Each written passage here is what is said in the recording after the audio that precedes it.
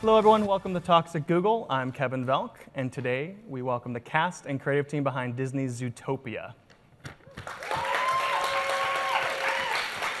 So, first, I'd like to welcome Byron Howard, director, and director Rich Moore, producer Clark Spencer, Ginnifer Goodwin, Katie Lowes, Tommy Chong, and Nate Torrence, our voice Woo. cast. How are you guys? Welcome, guys. It's a cavalcade of stars. Welcome to Zoogle. Thank you. Yeah. Woohoo! And so, thank you guys so much for being here today. Uh, obviously, we're talking about Disney's latest animated film, Zootopia. And so, Byron and Rich, you guys directed the film. Can you just talk about us about what the story was and, and the genesis of this? Sure. How did it all start? How did it all begin? Well, okay, so five years ago, after I uh, finished directing Tangled with Nathan Greno, um, John asked what I wanted to do next. And what you do when you pitch to John Lasseter is he doesn't want you to just pitch one idea. He wants to get an idea of what your interests are and what you're passionate about. So Nathan and I, I think, pitched six different ideas. And one thing that all those six ideas had in common was this idea of anthropomorphic animals, which are animals that walk upright and wear clothes and uh, use cell phones. And he got so excited about the idea that he literally hugged me and picked me up off the ground and lifted me into the air like baby Simba. He's very strong. He's strong a strong man. man. A mighty man. so we knew we had something that John was interested in, and because he grew up on Wind in the Willows, which is a film from the 40s or 50s, and I grew up on Robin Hood, and I think Rich, your first I grew film. up on uh, The Jungle Book. Jungle Book, that's right, that's right. So we knew we had this great Disney legacy to build on, but we didn't want to do something completely new. So we did a year of research, including going to Africa. No kidding, they sent us to Africa with 15 of our leadership to do research and nearly get eaten. Our cinematographer. Why didn't you go, Katie? Should have gone. Would you have loved to go to Africa? yeah. The bugs. Oh my gosh. The smells. Yeah. Our cinematographer got bitten by multiple animals. Including like a zebra and an, an ostrich and a, cheetah. Pounced on by a cheetah. Yeah. yeah. but, that, but, we care about your entertainment. That's why. We, will put our lives on the line. That's right. To bring you comedy and heart. That's right.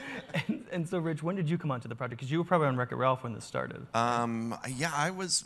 Wow, that was five years ago. Well, but and I was a, I'm a member of the Story Trust at the studio, uh, which is uh, all our colleagues, the directors, uh, writers, and heads of story, and uh, we help each other with with our films. Um, we're there to support uh, the other director, uh, the other directors, and uh, I had been kind of following this one, and there's some that you follow more intimately than than others, and and I had been following this one from the beginning, from the early part, yeah.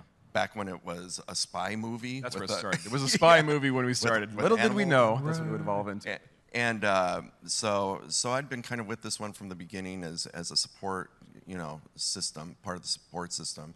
And there was a moment about a year and a half ago, as, as these movies always have like a bump in the road, you know, and uh, this one was a pretty big one where we wanted to try switching the main characters or the protagonists because for the longest time, uh, Nick, the Fox character, Jason Bateman's character, was the protagonist. He was the main character, uh, and the story was just not coming together um, in that way. So we said, why don't we try flipping, you know, Judy and Nick, and and let uh, Judy be kind of our eyes and ears coming into this new world.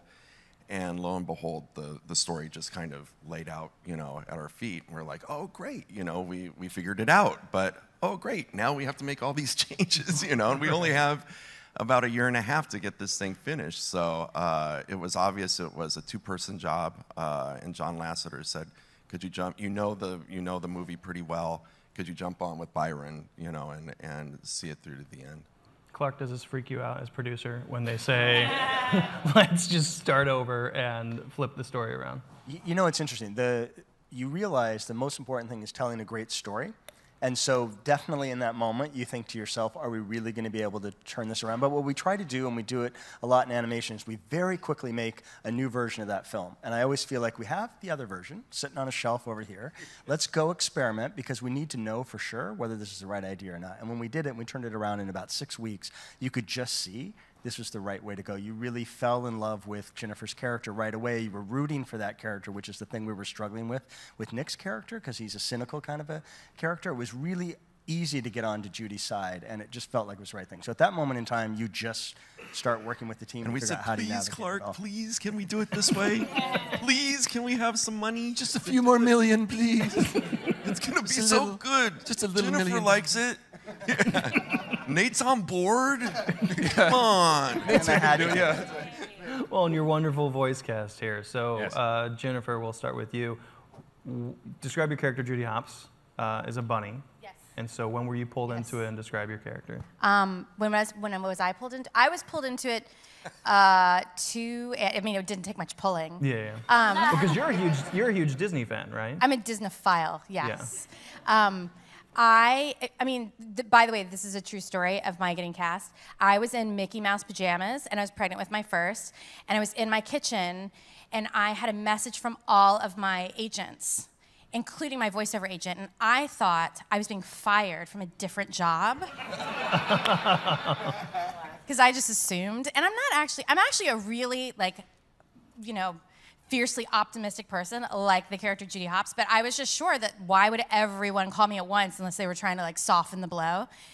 And so, I, in my Mickey Mouse pajamas, I turned to my husband and I said, "Oh, I'm getting fired from this other job." And he said, "Or I swear this happened." He goes, "Or Disney's calling to offer you the lead in their next animated feature." And I was like, "That's mean. Like, why would like, don't do that to me? Like, I'm obviously getting fired and I need support and Kleenex." And so I picked up the phone and I thank goodness got everyone on the phone at once. And they said, Disney is calling to offer you. And I lost it for obviously positive reasons. And I said, I'll take it. And they were like, Don't you want to know what the job is? And I was like, No, I want this to be legally binding. So just call them and say I'm in, and then you can call me back and tell me what it is. Um, so yeah, because it's a dream come true. And I didn't stop crying for like a day. But um, that was like, I mean, I was pregnant with my first kid, so that was like two and a half years ago at this a while, yeah, Yeah. it has been beginning. And uh, the character Judy Hopps is a bunny on the police force of Zootopia. She's the first bunny. She's bought, been brought in by a, um, an integrative mammal initiative, and uh, she she she takes her job seriously. She does not take herself seriously, but she is she's a bit self-righteous, which I appreciate about her. She's but like I said, she's fiercely optimistic. She's idealistic. She believes anyone can be anything. That like like my dream was to be in a Disney animated feature. Hers was to be a bunny cop, and, a, in a, on a force full of predators. And uh, she moves to Zootopia from the outskirts called Bunnyburrow, and uh, she is faced with the reality that not everyone.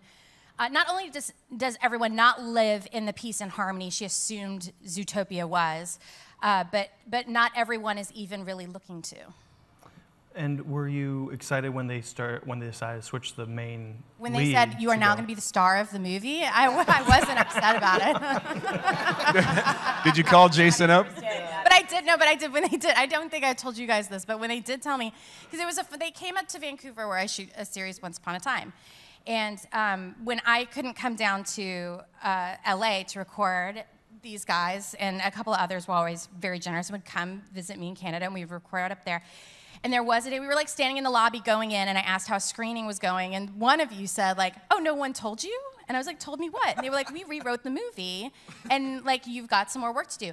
And I had to like not jump up and down because like who doesn't want to be told like because I was having the time of my life like you're gonna do this a whole lot more, and um, I but I actually called my represent I called my agents to be like, "Will you call make sure that they weren't teasing me?" Because like How much like, more does maybe it was pay? a joke. Do I get a raise? right, this is still legally binding. Yeah.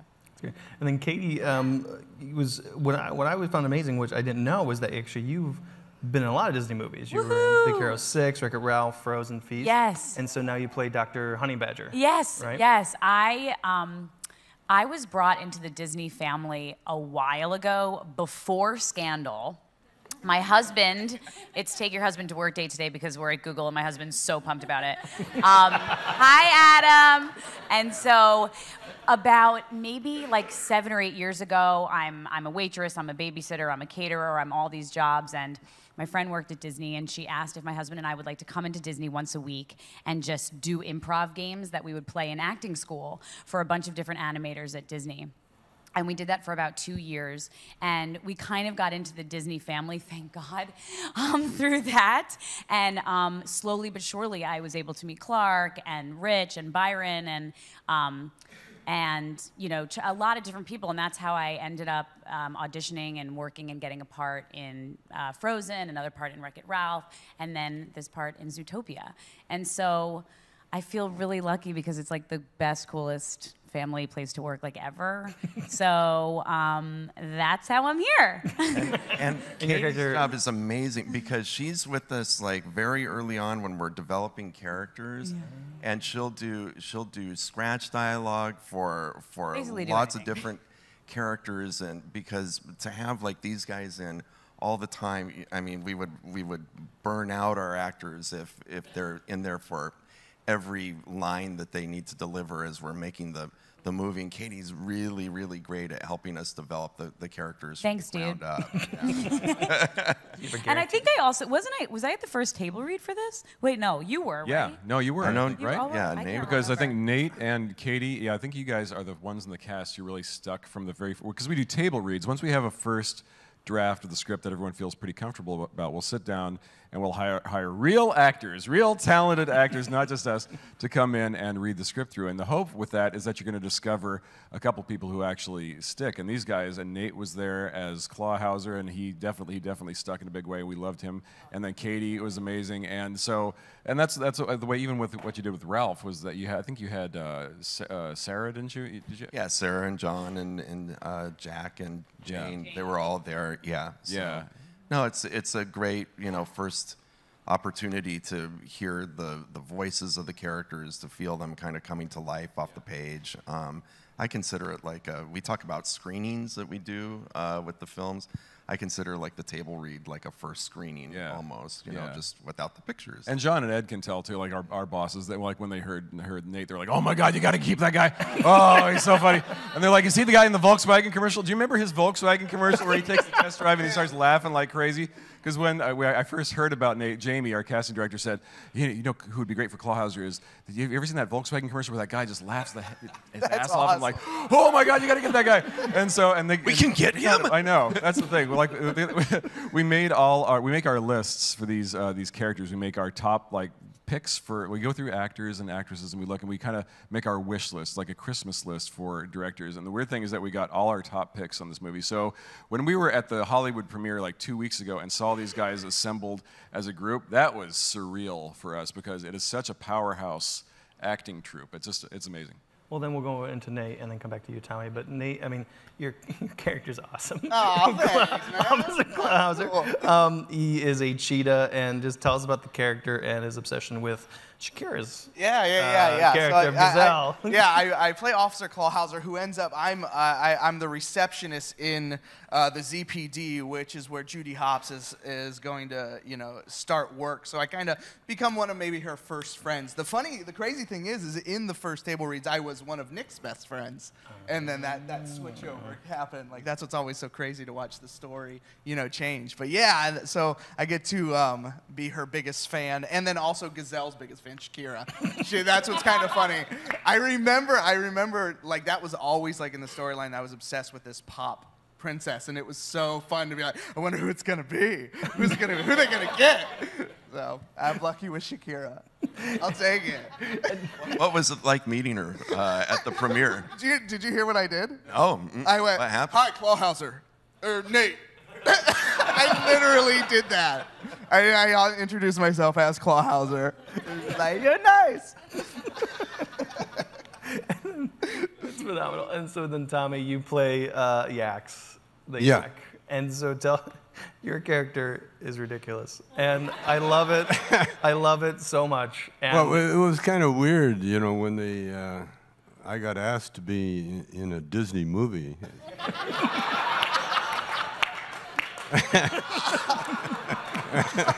Oh, that's And then uh, I, I didn't have to guess what kind of character I'd be playing. I'm noted for one, and uh, and the yak. Oh, he cracked me up, man. I mean, to be in a nudist colony of animals. And, and we were talking about I this. back- loved. I, I just loved everything about it. But the thing is, with Disney and I had we, we go back a ways, you know, because uh, I got offered a role in Lion King and I turned it down right. because uh, I got kicked out of Disney Park once for wearing a, an obscene T-shirt.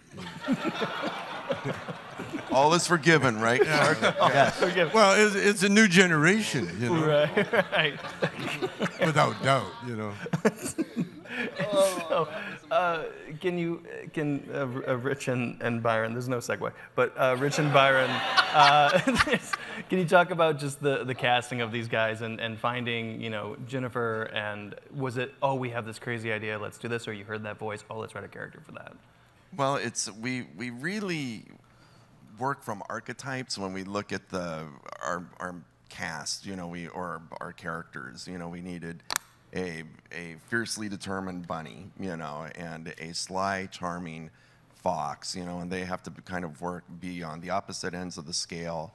Um, and the way that Byron and I like to to work is just putting up like photos of, of people or characters or images of of characters like that, like comparable, you know, people, and and actors will just kind of bubble out of those photos, you know. And like Byron said, uh, Ginnifer and Jason were our first picks, you know, for, for Nick and Judy, you know, and, and we look for not just the quality of voice or, or how they sound or uh, how they deliver lines, but it's the chemistry, you know, between them. And that's, that's why we also will record together when we can. Yeah, and it's I think it's really tough. I think these guys don't get enough appreciation, people who do voice acting, because a, lot of, a lot of actors and actresses can't do it because I mean it's it's one thing to be photogenic and you know kind of a, a nice on, on camera, but when you're in a room by yourself and we're asking you to emote or make someone laugh or cry. Ginnifer has this crazy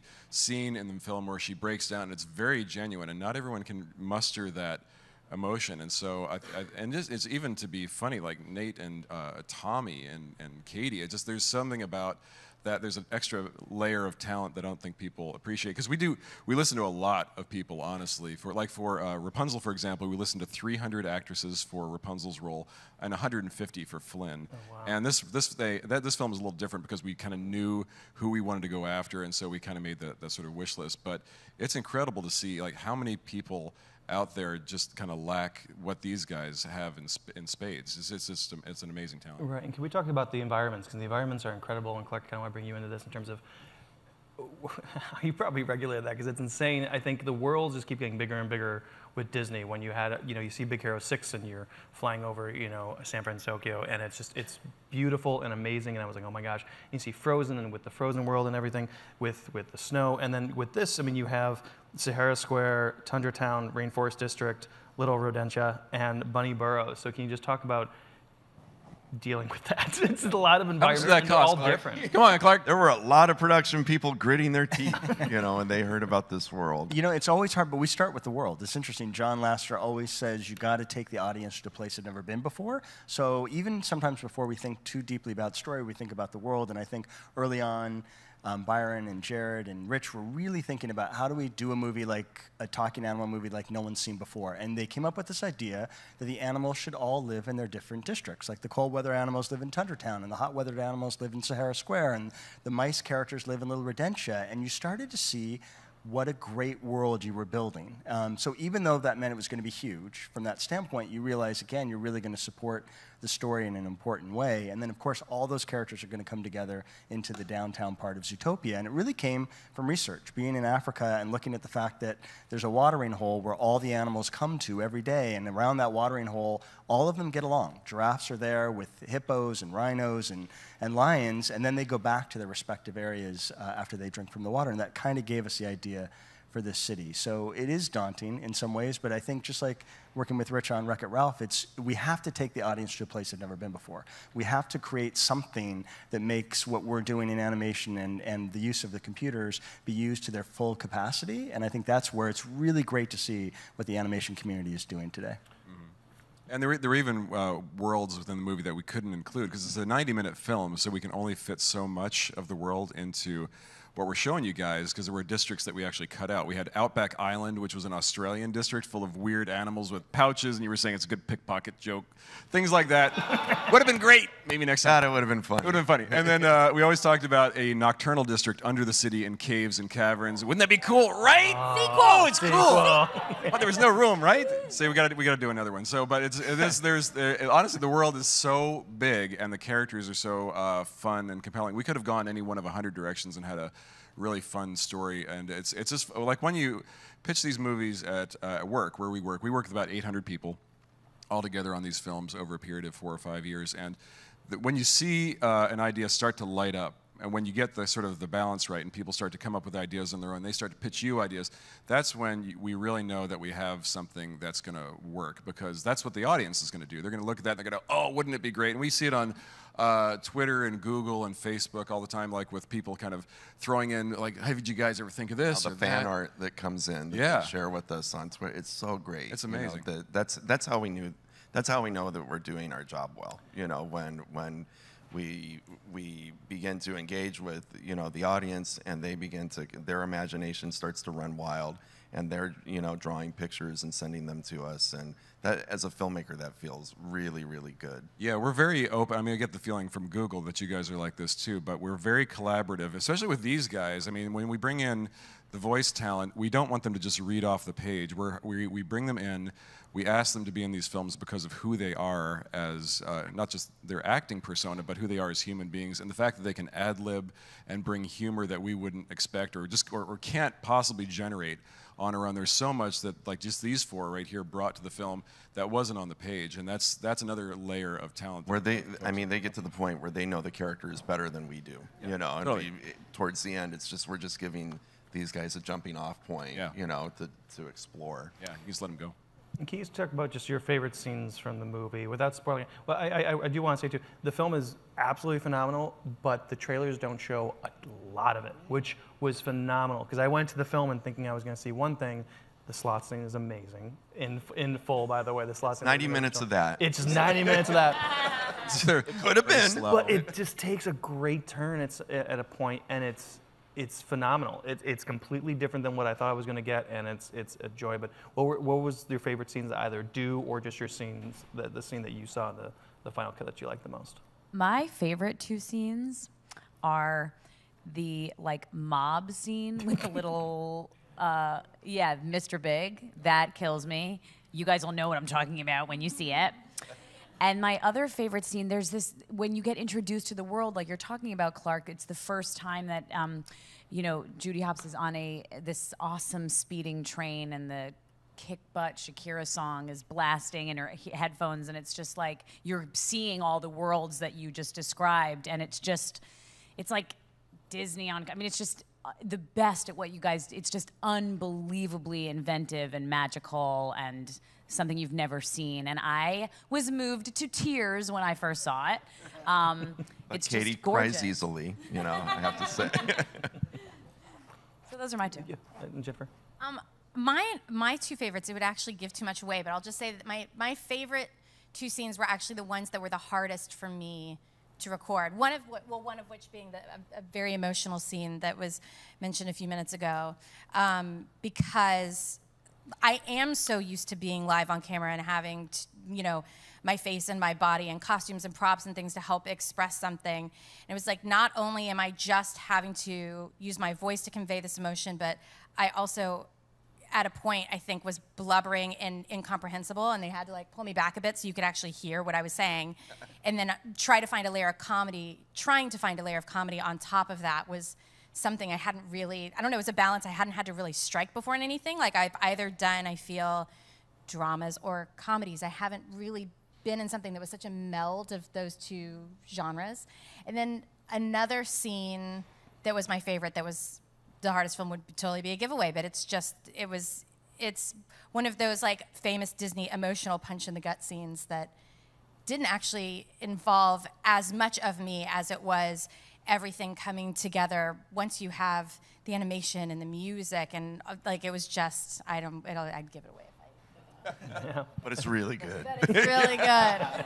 And Nate, were you able to improv a lot because you came from that? That was you know that yeah role. that's that my, my background and that's what's cool is they kind of talked about it. it. It's so amazing when you, when you get in an environment where it is collaborative. And they actually, I mean, you guys, they got in the booth with with me. I don't know if I, I don't know if that, what was your experience, but that's. I, I mean, I've, I haven't done a ton of. I, have done two other actually series with TV or with uh, Disney, um, animation wise. But the coolness of like reading with them and being because it's a it's kind of like prison in that way. It's a big glass and you know you have the, the, the they're like great job.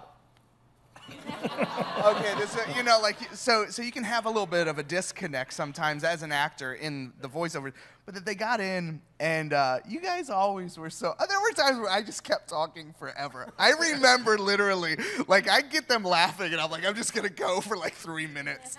Oh yeah, we yeah we have But, uh, we have hours of you. We have hours. it's a oh little boy. ridiculous. No, but I, I will say specifically though, one of the cool things, i i which is a scene where um, with the cell phone. With with with uh, Gazelle, where there's like a I don't yeah I don't want to give too much away, but there ends up being um, something where that was a little bit like that, where we got to play and to see it come to fruition and, and make it not that it's completely improvised, but um, but you you get to add a little bit to it. That's always a cool thing as an actor to get to do. How about you, Tommy? Well, you know, I had a lot of experience uh, doing Cheech and Chong albums. You know, alone, with just Cheech and I and an engineer. So, you know, working with these guys was a piece of cake. You know, because that's what we did. Uh, we, we'd get in front of a microphone and uh, just have an engineer, and then we'd just create with our imagination. And so it was uh, easy. And but when I saw the movie, I mean, I'm a big animated animation fan anyway, you know, because uh, in fact we used to. I had a nightclub in Vancouver, and we had a, a little party for uh, kids. When you know, my son, my brother's uh, children had a birthday party, and we showed animated uh, movies or you know cartoons, and. Uh, the kids were, oh, they watched it, but it was the adults that really got into it.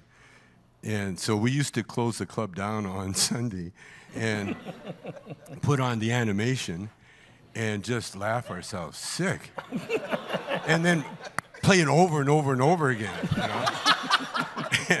and so when I saw when I saw this, it brought me right back to that world. especially especially the, there's scenes there's a, the wolves howling there oh my god i mean and there there are bits in this movie where i i, I want to see i can't wait to see it again because I want to feel that that that humor. And the humor uh, that in in this like a lot of animation you know it's the humor's kind of hidden you know? But this one uh, it was out in the open. It was so it was so crazy and so good. And and and my character I, I was I just recovered uh, from in fact I came out of the hospital I had an operation, and I came out of the hospital. My son, who was my manager, he said, uh, "We got a voiceover gig for you." And I said, "What?"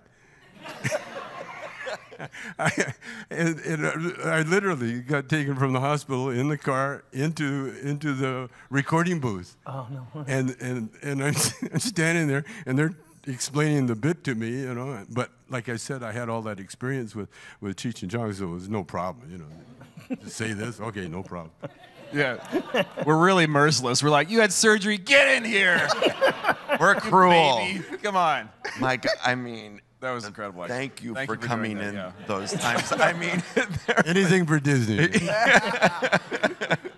Well, and and uh, with what I was most impressed with was right when the first kind of teaser trailer came out with the walk cycles of all the animals. So I kind of want to talk about what the technological hurdles were with this movie because that blew my mind because each animal had their a different walk cycle, a different ten- tendency, and the animators really seemed like they were using all those features. Like there was a great scene that I saw when uh, uh, Judy Hopps, uh, Ginnifer's character, was chasing after the weasel, and it was she was bouncing off walls and stuff, and the animators were doing a really good job with that. But just the animals, I mean, it had to be crazy to develop that. And you guys also just had a lot of amazing software. It seemed like with with FizzGrid, Bonsai, and XGen. So can you talk about just what was the next evolution in technology going into this movie. And Yeah, well, maybe I could talk, possible. and then maybe one of these guys could talk about that a little bit, because I'll talk about the animation part of it first. Because one of the things that, uh, and you guys are probably like this too here, when you get something that you're really passionate about, and it's a project, then it doesn't feel like work, and that, that when you give our animators, and we have about probably about like almost 100 animators, Yeah, like ni- 90, 90-ish 95. animators. And so uh, when you can give them something that they love,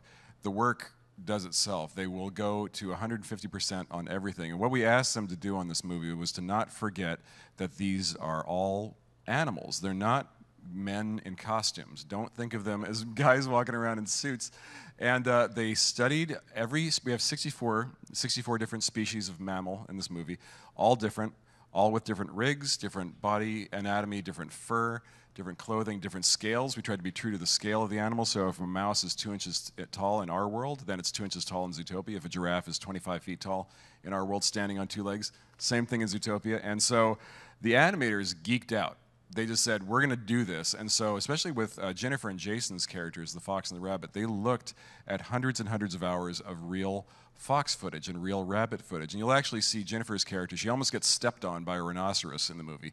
And when she gets scared, she goes back to the sort of primal instinct, and this bunny behavior comes out. And she does something very specific that bunnies do called binkying. Look it up. You can Google it. See, I tied you guys into the thing. Of course, you can look And stuff up on Google. All right. Anyway, so, anyway you guys, Have you heard of this well thing, done. I Google? use you all the time. Uh, anyway, so but you can look up binkying and you'll see exactly what Ginnifer's character does because that's why we have these geeky animators who love this stuff. And if you give them uh, these projects, and especially it's we've done we've done a lot of films lately with human beings. We've done Frozen and Tangled and stuff, and human beings are fine. But it's nice to kind of mix it up once in a while and give them something new, especially with this movie that had so much variety. They just really got into it. And uh, do you guys want to talk about like the technology? Well, and, and just the the ability to render the fur on the character, the, the looks of, of them, and the grooms. Um, and like you said, since Big Hero 6, we have this Hyperion um, system. It's a software uh, that, that allows us just to output tremendous amounts of, of detail and information per frame, you know, when, when we render the film. Um, and so for the first time, we were able to groom the characters, not using like a cheat, you know, on fur, not making it just this kind of stuff that looks kind of like human hair, you know. And uh, on Bolt, you guys could barely pull off the scene of, of Bolt sticking his head out of the car window, and, and, and it was a pivotal scene in the movie, and it almost didn't happen because the tech department just didn't know how they were going to pull it off. And that was only seven years ago, and now we have this system that that we can groom the characters with hundreds of thousands of individual, you know, pieces of fur, strands of fur, just that are modeled to look exactly like they do, you know, in the wild. So um, our, our technology has just moved forward leaps and bounds in, in presenting a movie like this. Yeah, and I think, I mean, just a couple of quick statistics. So Ginnifer's character has 2.6 million hairs on that rabbit, 9 million on a giraffe. So that's a lot to have to, to go into render. But the most How many? important thing is 9 million on a giraffe. How many on Tommy's character, do you know? Well, it, Tommy's character is He's not even wearing clothes, So, yeah. yeah. But you do see more of him. so there's, more exposed. But 64 characters, they studied each species fur under a microscope, discovered that a polar bear's fur is actually clear, that a fox's fur is dark at the root and it gets light as it goes to the tip, that there are dreadlocks on a yak's, that a, you could have an oily kind of look on an otter, so that every single fur groom is completely different. Every animal is a different shape and size, so we can't actually replicate those animals and just change the, the, the size of them and make it different. So you had 64 different models that had to be created, 64 different rigs that had to be created. Then we had to create shaders that would actually allow us to bring that, have light reflect the fur in the correct way so that we as humans see it in the right way. And again, with each type of fur being different, the way that light reflects off of the fur is different. So in every shot, they have to think about that for each individual character. And then we said the world had to feel alive, so we needed plants and trees because that was going to be the most way to make the world feel organic. And we needed that throughout. So for us, we had to go in and, and get bonsai and look at the rainforest district in terms of the density of all of the foliage that is in that one area. And then on top of that, we said we wanted to have there be movement because in any city there's movement. So we had to create technology systems would allow us to move the leaves and the branches on the trees and have the fur on the characters actually move in a way that makes it feel again realistic. So you keep adding on. And then the last thing, which is huge, and you sort of take it for granted as you start to watch this movie because the characters are walking on two, but they all wear clothes. So every single character has a different cloth simulation that has to be figured out, and they're different sizes. So how does that skirt move on an elephant versus on a mouse, or how does the same thing for a T-shirt move on two different types of characters? So for How our does it intersect with fur? Of Exactly. all those different kinds of fur. So So it was layer on, po- on top of layer on top of layer, and each decision was made individually based on what we thought was necessary for the world. But in the end, when you look at all of it, it was a little daunting. But again, as, as Byron and Rich have said, our team is so passionate about wanting to create great work that everybody goes into what they know and they figure it out for you. And it's a thing you just believe in, and we're so lucky to get to work with these talented individuals who will go to the ends of the earth to make it happen for you. Yeah, no, it's it's phenomenal. It's great to just see Disney pushing these types of films and just not, you know, resting on your laurels. It's just great. Um, so I'm bringing up Manil from our Google Photos team. Uh, Yeah. So yeah, well, get into it. All right. So I get the pleasure of talking about a couple of really fun things we got to do between Google Photos and the folks at Disney for this movie. Um, so we had a similar experience, Byron, as you had. So when I found out we were going to be in Zootopia, I went and found Sundar, our CEO, and I lifted him up. And I put him up there like Nice. Simba. Nice. And I said, We're going to be in Zootopia. make this a thing. I know. You know, Uh, lift it's- with yeah, people. It, it, Mine did not go so well. He, He's still not talking to me. But anyway, um, it, was, it was just such a great experience when we found out about this movie, and we knew we had to be a part of it because, I mean, if there's a universal truth, right, other than death and taxes, it's this humans and animals both suck at managing their personal photos, right? they take way too many sloths, take way too many selfies. Hippos always forget to take their phones out of their pocket when they have a bath, right? So we knew we wanted to be part of this movie and be able to help with those problems. And so, uh, in addition to having a little clip in the movie, uh, which we really enjoyed, uh, we also worked with Disney uh, to create another sort of custom clip, which we're going to show now. Let's cue the video, please. Oh. Listen, we all love our phones. Every day we use our phones for this. Like, all the time. We take photos at every place, every event, and with every friend we know. You don't want to lose those moments, but hey, things happen. Phones break, Bye bye. or get dropped in the. Tomorrow's another day. Yeah, but it might be worse. Good thing there's Zoogle Photos. Your memories are automatically backed up, always organized, and completely searchable. Wait, is that all your family? Oh, bunnies. We are good at multiplying. So, no matter where you are, you can view your photos anytime. Well, almost anytime. Zoogle Photos if you live in Zootopia. But if you live anywhere else, there's Google Photos. Disney Zootopia. In theaters March 4th. Rated PG. Oh, that was very, nice. Pretty Nicely good. done. All right, so that was that was really fun. And then the other thing we got to do is we actually got to go ahead and have a little fun at the premiere. So we got to uh, go down to the Zootopia premiere, which was a couple of weeks ago down in LA, and we got to actually go down and uh, do some fun things at the red carpet. Now, this was my personally, I think this was my 32nd red carpet event, 33rd, maybe. Actually, no, I'm miscounting. Sorry, this was my first one ever. Wow. cool. And so it was pretty awesome, right? It was a really great experience. You guys were even so nice as to set me up with a fake interview. I really appreciate that. I think this was The Onion, so I'm waiting for that article to come out. Um, but it was just a great experience. And so once all us riffraff like me got off, uh, you know, obviously the real talent came on, and we wanted to have a little bit of fun. So what we did is we set up an installation to take photos. And so we went ahead and took photos. And Nate, try to control yourself. Shakira, um, Nate. We, we took we created an installation where we took photos from the vantage points of the animals. So here you've got what if we were in Zootopia, we were taking a photo of Shakira, what it would look like if we were a lion. But what if we were a giraffe taking a photo of this event? It would look kind of like this, right? And you'd have that experience. And of course, this is what it would look like if it was a gerbil. So not quite the full scope, but we got to have a little bit of fun with it, with this installation. We got some great photos, of course, of Shakira. We, um, let's see here, who else we've got? Uh, here's Ginnifer. Yeah. Beautiful. So this was a fun experience. We didn't get to see the shoes as much. The gerbil didn't get much there. Uh, we've got, let's see. Okay. The Idiot Squad. Is, Byron, is great. that your But, tux? man. Is that your tux, Byron? With the shoes? oh, the, oh, the, oh, the leopard, You- Fancy. leopard tux. See? Leopard Yeah. tux. It's We don't nice. skimp. Your Styling. entertainment is important. We got we got Nate. Yeah. Nate.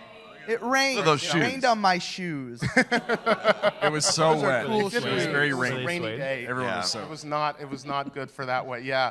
Okay. So this Aw, was there's Jason. Uh, we got some good photos of. We Oh, got Tommy. yeah. I don't think we could There get he Tommy to stand in one place for too long, so we couldn't get all three photos. So. uh, and of course, we had Katie. look at that. Very Oh, happy. Rose is there. There's Adam. Oh, so that was bring your husband to work day too. uh, and so it was a really great experience. All these photos are up uh, on Zoogle Photos, uh, so everyone can have a look and, and, uh, and join, the, uh, join the album. But it was a great experience, and we really appreciate uh, the opportunity to be part of it. So thank you guys. Thank you. That's awesome. Uh, so we're gonna move to audience questions. If you guys want to head up to them. Oh, people are running. I had a chance to see this at D23 with my younger daughter. She thought it was fantastic, or clips from it. And the question I asked there, I want to ask here because I thought it was a great uh, answer, was I saw a lot of uh, things about unconscious bias in the clips that I saw, and that's a big topic here at Google. Was that just something you thought about, or coincidentally it worked out as something relevant now? You know, it's it's oddly timely this movie, and you know, it wasn't. It didn't start that way. But one of the things that came up when we were doing that year of research is we found a very interesting fact about the mammal world, and that's 90% of the animals in the mammal world are prey animals, and 10% are predators. And we actually say that in the movie. One of the characters says that, and we thought that's really interesting. If you think about those two groups that are not equally balanced, if they've really stepped into the future and put this eating thing behind them a couple thousand years ago and figured Evolved. it evolved past it and they made this incredible uh, civilization did they completely put aside that mistrust of each other that existed so long ago and that was one of the major kickoffs of what the story became and what actually became the main uh, issue between Nick and Judy. Like if you watch Ginnifer and Jason's character, that's what they're struggling with through this whole film, and the fact that you see Hopps, who is this amazing Frank Capra-esque character that has this beautiful core and wants to do something good in the world, struggle with something that she didn't know existed within her. It, it made the it gave the movie layers, which I don't think anyone expected. And it, as we went through the story, it kept building and building and building. And we never set out to make preachy message movies. We hate movies like that. We want to just have people experience the films through the emotional journey of the characters. And so that's what we uh, really appreciate about what these guys gave us because the natural performances and we have great writers. Uh, our co-director Jared Bush and uh, Phil Johnson, who is his co-screenwriter, wrote a very smart script, and we had to be very careful about what the movie was saying and how it was saying it. But it wasn't intentional. But we're glad it happened, and we're glad people are talking about it. So I've seen the extended preview at Disneyland, and it looks so good. My family is so excited about it. Um, I have a question for Ginnifer. So you play Snow White on Once Upon a Time, and you recently said that you go to Disneyland every week. Month. Well, yeah, once a month, which is Once- still once a month, once Probably a not month. healthy, but Do you, do you I know the feeling. Let's not be Uh, crazy do you- now. Do you ever pretend to be Snow White when you're interacting with the characters there? No, I I actually leave the um, the Snow White job to the ladies with the with the bobs and the like 40s red and yellow dresses. Um, I actually because our audience for Once Upon a Time are typically Disneyland goers. We sometimes go in disguise because, and I really love this. Disney actually, they they don't want us to cause a scene because they want there to be yeah, they, they give you escorts. Right. Well, and but they want, but I feel like it's for such a cool reason. It's not like a, it's not like a Hollywoody reason. It's that they want the kids to to gather around Mickey Mouse, and to gather around you know Winnie the Pooh, and like those are the Disneyland celebrities, and I respect that so much because that's I mean I gather around them too. And so, uh, so yeah, so we usually like try and be a little incognito at the park. Hi. Um, this question is for Tommy. So I grew up like watching your movies, and I saw you live in San Francisco about seven or eight years ago. It was amazing. My laugh, like I couldn't stop laughing. My face like hurt so bad afterwards. Um, so my question is, how do you think your character is different from like the Cheech and Chong movies to like this character now? What was the question? How, how, is the, how is this character that you're playing now a little bit different than when you were in your Cheech and Chong? Well, uh, not really. I'm, I'm, a, I'm a yak. That's about it. it's the T-shirt. He doesn't wear the And T-shirt. naked. what you saw was me, and our characters too. You know, we. uh, Cheech and I would find the most ridiculous, uh, weird characters that we could find that were real, that everybody saw every every day, and that's what the, the strength of this movie is. That you, you know what you know what this movie really did to me. I mentioned it before. Is that it made me appreciate humans more because uh, instead of having one view of what a human should look like, uh, th- th- this movie showed you that humans come in all sizes and shapes and, and beliefs and, and, and tribes and everything. And it just, that movie, everybody fit in that movie. There was a place for the hippos and there a place for the giraffe and a place for the little tiny people. And so, and, and that's what uh, uh, made Cheech and Chong so popular is that we, we took real people you know, we didn't have to invent anybody. The, the, people that we portrayed were, you know, our neighbors and, and people that we knew. So it was, uh, it was, it wasn't a stretch at all for me. Thank you. So I, the, the movie was fantastic, but I also love all the, the more subtle call-outs that, that were in the movie. Um, some of them were subtle, like the carrot on the back of the phone or uh, the Zuber or mouse card or that sort of idea. And some of them were a lot more overt, like uh, the Breaking Bad stuff and the Frozen jokes and so on. how do you decide how to like, how do you manage all of that? Because that's really, for, for me as a viewer, that's really dense. And I have, and I, and I love it, and I have no idea how you guys decide what to put in, when you decide to do it, how that creativity comes about. I find that fascinating. Well, when, when we're working in the story room, we, uh, we encourage all that stuff from, from our story artists, just from our writers, just, uh, just lay it on thick. You know, it's like we had so many like puns for like, or like joke signs for different, you know, uh, businesses that were animal puns.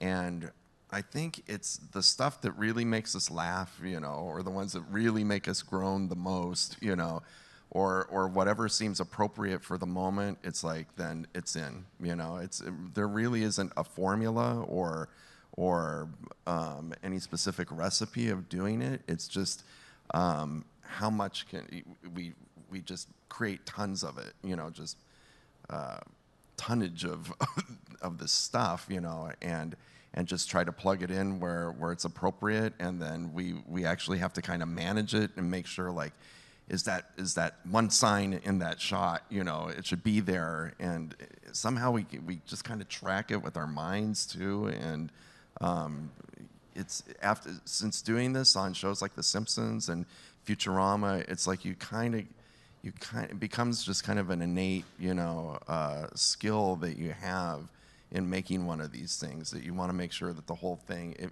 you can tell. I mean after doing this for for a while you can tell when it's starting to go off balance if you have too many if you don't have enough you know? Um, but it's and there's stuff that we don't even know about. People will kind of slip stuff in and put like license plates. And uh, if you watch the movie, there's a flashback where you see Nick as a little boy, little little fox, a, kit, I guess. When he goes into, he becomes a junior ranger scout, and his troop uh, number is 914, and that's the birth date of the guy who did all the character designs in the movie. So it's all these little things. They're personal things. They're probably personal birth dates. There's in jokes about our own movies that you probably saw the Frozen jokes. We got those in there. And it's great to have a world like that where you can actually do that and play with it because Yeah. the movie begs for it, really. Well, because the, genre itself wants it, it's a mirror image of like our world is you know the talking animal things are are that that's what it's all about. That's kind of the the main convention of this genre. So as we were making the film, it became obvious like it wanted more. You know, the story wanted more of this stuff. You know, and we we were happy to oblige. Awesome. I've got a question about um, character creation process. In particular, I was curious, do you pick an animal and then figure out what the personality is, or do you have a personality in mind and pick an animal? How does that kind of work when you anthropomorphize people that way? I guess we start with sort of the story need. I guess with like uh, the the sloths are a good, good example because we were we were kind of brainstorming. Uh, okay, well, what would animals do in this world? And Jim Reardon, who's jobs, jobs and know, stuff. What and- what would be an interesting location for Yeah. Judy to go to? Yeah, like what are appropriate things for these animals to do? And we have two heads of story, Jim, Rears, Jim Reardon and Josie Trinidad, both really brilliant people. And Jim said, well, you know, it's like uh, if it was a DMV, it should be staffed by sloths. And he just sort of said it was off the cuff, and he was sort of like, ah, that's not going to go anywhere. And we're like, oh, wait. Wait, wait a minute. That's- has, that's- has that ever been done? You know, like somebody has to have done that. We thought. And I was like, no, no we one had ever done Google, it. And you know, we went to go, check. has anyone ever put sloths? Wait a minute. Did we just find something really, really cool? You know, that, that hasn't been done before, and it's just kind of off. moments like that. You know, the and and we tried to go. That was a case of of going to type, you know, with the animal, and then we would try to go against type for for others because we didn't want the world to be like a storybook animal world where you know they're all kind of doing their appropriate jobs and it's all very black and white and uh, we wanted it to to to be different shades of gray you know that like our world you know that it was more complex than than you know like a storybook you Yeah. talking animal world And- And maybe the exception to some of that is that with the lead characters, the characters are really driving the story, like Judy and Nick. Judy, we picked a rabbit because uh, it, with these movies and with uh, when you we need to root for someone, you want them to be as much of the underdog as possible. So the more obstacles we could put in her way, including how cute she is. She's teeny, she's cute. And uh, there are female cops on the police force, but they're all huge animals. There's a huge elephant, and there's uh, po- female polar bears and female tigers. But Judy, as a rabbit, has this kind of ridiculous idea of being this big, tough cop in this world. And so the more you kind of go, well, that's ludicrous. She's never going to accomplish that. That's great for us because that gives Jason's character, the cynic who grew up in Zootopia and has been sort of ground down by this world, able to kind of poke at her and kind of poke at that sort of Frank Capra idealism that she has. And it's great story fuel for us because if we don't have that conflict, then because in, that case we'll, we'll really think about that for a while because uh, other people in the story trust were poking at Nick's character like, well, should he be a fox or should he be a, like a big tiger or something that's got more sort of size contrast? But what we liked about the fox is they have this great uh, sense of like uh, cunning and sneakiness that you expect, and Jason was perfect for that, and they, their chemistry was great. But then, um, you know, we want, wanted to also keep uh, Nick as a small predator, so that in those scenes, there's a scene where um, Ginnifer and Jason's characters are wedged between two huge polar bear thugs in the back of a limousine, and they're being driven off to be killed. And that's great because you want that threat to be there. as a duo they're they're underdogs as well you know Mr. Mr. Big, right? Uh, thank you so much for coming over and, and telling us about all of this, and especially in bringing some of these other things that we won't get to see in the movie, and, but you obviously thought a lot about and thought a lot about creating and how they interact with this world. Do you feel like there are more stories that you, you can tell in this, or are we going to get a chance to see some of these kind of realized, especially seeing how well uh, Zootopia is doing in uh, early reviews and things like that? Please, Clark. Please, come on, Clark. Please, Have some more Please, money. write to Clark. Can we Clark. make another one? You know, No, we I- always hope that that's where we can go. We, we never think of, we never embark on a film thinking, how can this be something with many stories? We always focus on the main story because we have to ultimately create the best story possible and hope the world falls in love with the characters and the world. But secretly, the hard part is, and it's at this moment in time where we all have to let go of this, right? It's going to mm-hmm. go out into the world. The world gets to see it, but these characters that we've spent and, and environments we've spent years building and creating end. And it's always hard. It's really an emotional thing to say goodbye to this cast and say goodbye to our team because you know we work with 800 people and then suddenly we're just three people mm-hmm. trying to think of what's that next idea. So it is always that kind of bittersweet moment, but you do secretly kind of hope you can revisit those characters in the world because we've had so much fun building it and this has been such an incredible experience. So are you guys in if we do another one? Can we count on you guys? You want to come back to Vancouver? Come back to Yeah, I'll come back yeah, to I'll go back. I, I will say that we some of these stories. I'll give you an example. So the, the movie Clark and I worked on about seven years ago, Bolt, is sort of a closed-ended story. The dog and the girl are happy on the farm together, and it's sort of it's buttoned up, nice and clean, and you can walk away and kind of that story exists in that little envelope. Um, this was built with so much potential. I mean, these guys. Oh, I won't spoil the end for you, but there's so much potential of where you could go um, with the world, and even the things we were talking about earlier, things we couldn't include that are so much fun and so compelling that when you mention them to people, people go, "Oh my God, that would be great!" And then uh, so uh, the, the, uh, hopefully, okay, we'll see how it does when it goes out in the world. But so I I I would love to come back to this world sometime. Wonderful. Thank you. Thank you guys so much. Yeah, I mean, as he said, it's it's getting you know critical just praise, and everyone loves it. It's saying like 100% on Rotten Tomatoes right now. Like it's just it's crazy, and just Disney seems to be you know hitting on all cylinders now, and and in this new golden age and stuff. It's just it's it's absolutely phenomenal. You guys are just amazing. So thank you guys so much for being here. And uh, uh, Zootopia comes out March 4th. So go see it. So thank you guys so much. Thank you. Thank you, guys. Thank you, Thanks, guys. Google.